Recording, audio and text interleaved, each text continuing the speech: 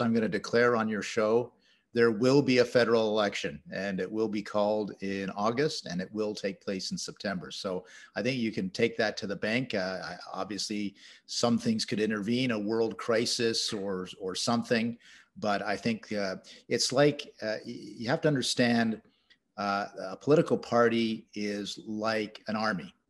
And once you st- set in motion the mobilization of an army, it's very hard to stop that mobilization. The same thing with a political party. Once you start to say to the troops, okay, we're going to be in election mode, start renting space for your election campaign, uh, you know, start start uh, getting your campaign manager uh, in line. It's very hard to say, oh, sorry, just kidding. Uh, well, we'll do this in a few months again. No, no, they're they're going into an election. Tell me how you're seeing this, Tony. Which, which you know, uh, as you've said, this is a bit like a game of chess almost, and what pieces are on the board right now? What's what's what's a, be what's apparent to you, I guess. Yeah, I, would say a few things. Obviously, uh, Justin Trudeau feels that uh, he's got some wind in his back uh, with the lower COVID cases. Uh, the fi- finally, the delivery of the vaccine is going very smoothly, uh, and the hurt of the economic cost hasn't really bit yet because the spigot of money flowing from Ottawa is still ongoing.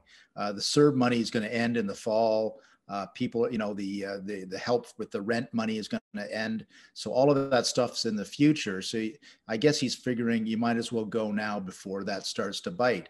Uh, for the other parties, they they've been anticipating this election call for many months now. Uh, you know, uh, Erin O'Toole has already has uh, his war room engaged. Uh, what is called the war room? That's the kind of the issues management people, if you will. Uh, and uh, Jagmeet Singh has been going out and about uh, quite uh, quite steadily through the summer. I guess the only political organization that is not ready for this right now is the Green Party, which seems to continue its internal implosion. So how do you see this moving ahead now, Tony? I mean, we've seen a couple announcements today. We had um, you know, we had an infrastructure announcement on internet expansion. Um, uh, you know, again, seems to be a key placement of, of uh, you know, campaigning in a, in a sort of secret sense.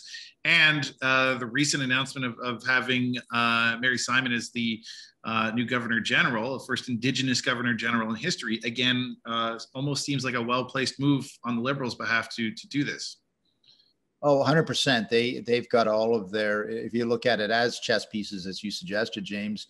Yeah, they they're they're beyond moving the pawns now. They're into the moving the rooks and the knights uh, and the bishops.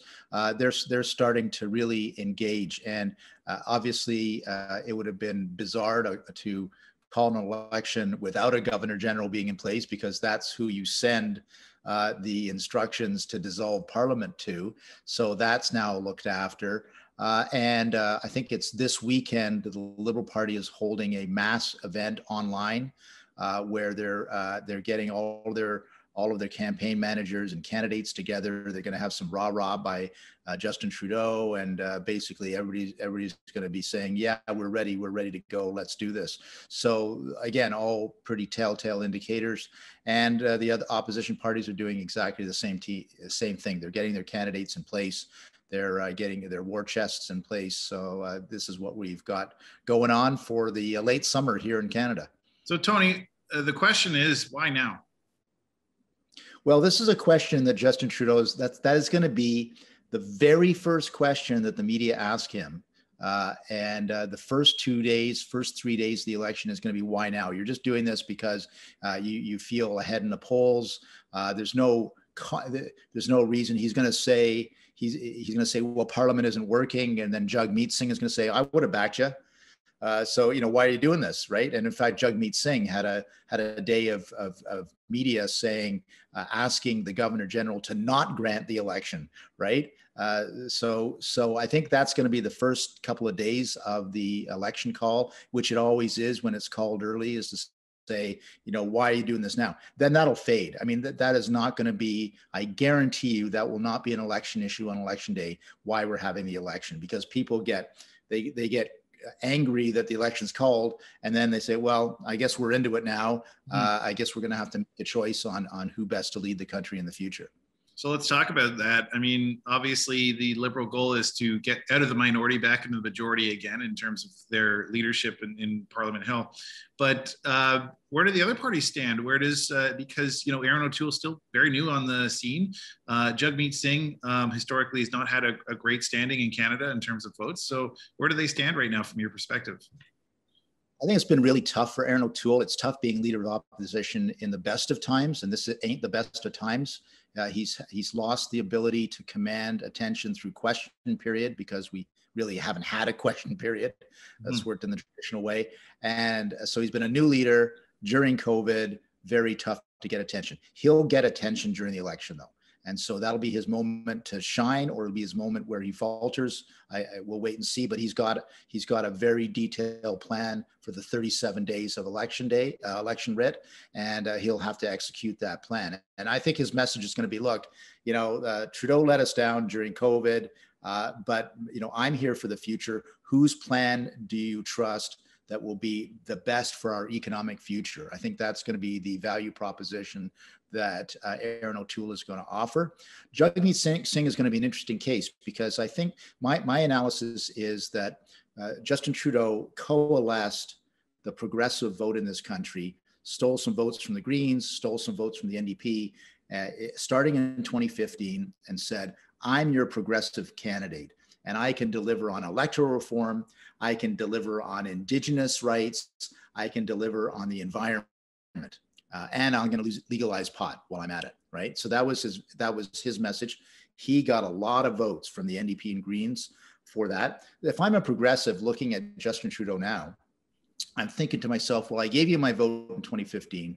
I gave you my vote in 2019 you really haven't delivered. You haven't delivered on Indigenous. You haven't delivered on the environment. You certainly haven't delivered on electoral reform. Uh, you know, I'm not going to give you, I'm going to look at Jagmeet Singh this time. I'm not saying that's a majority of people, but all he needs is five or 10% of that progressive vote to move away from Justin Trudeau to Jagmeet Singh. That's a big bonanza for Jagmeet Singh.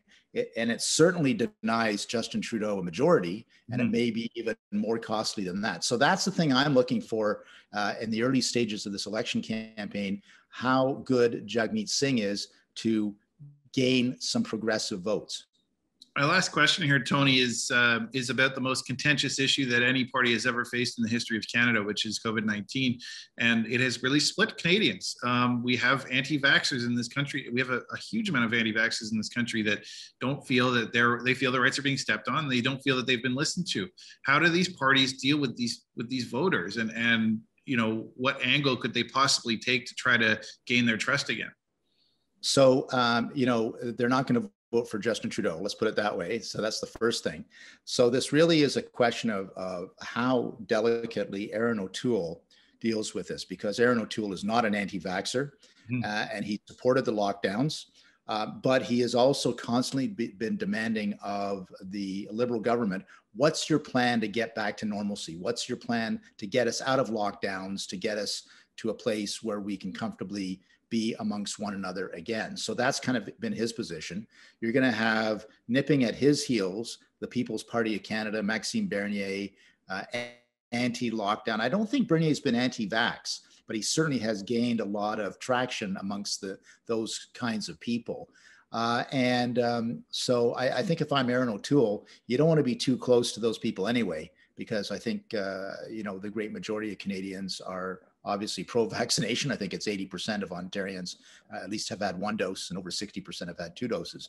So you, you got to fish in the in the in where the fish are, as I like to say. Uh, and um, so that's that's the that's the situation for Erin O'Toole. I I I, I question whether COVID is going to be a, a, big issue in the campaign. I think it's going to be about the future rather than about what we just went through. I think people are looking to the future. They don't want to think about COVID anymore. They're sick and tired of it. So uh, I'd be surprised if it's a major issue. Well, I, just a final word, I guess it would be in Trudeau's best interest to try to avoid that subject completely, right? Because he's been called out so many times on it. Yeah, no, I, I think from Trudeau's perspective, though, he thinks he did a pretty darn good job. Mm. Uh, he uh, and he thinks it goes to his competency issue. Right? So he he's saying, hey, you know, I did the best I could, and it was pretty darn good. I made sure people got paid. I made sure we got vaccine, you know, and we're the best in the G20 and vaccine uptake now, or whatever it is. So I don't think it's necessarily a negative for him. Um, but I also think he's smart enough, or his advisors are smart enough, at least, to say, okay, you got to take the win there as, as best we can. Yeah, it's 50 50, but we if we get 50% of the votes, we're, we're laughing. Um, and say, okay, what's our vision for the future? And that's where I think the big battleground is going to be.